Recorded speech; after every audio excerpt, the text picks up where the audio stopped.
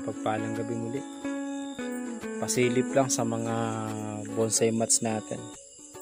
Ito, hindi ko alam yung pangalan nito. Ito, kala mo, hayop na nakatayo.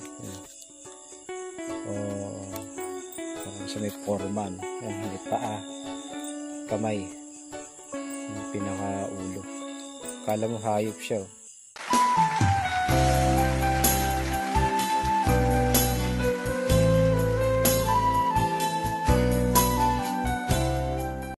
May buntot. So yan. Tapos itong binayoyo. And share and comment na po. Salamat po. God bless.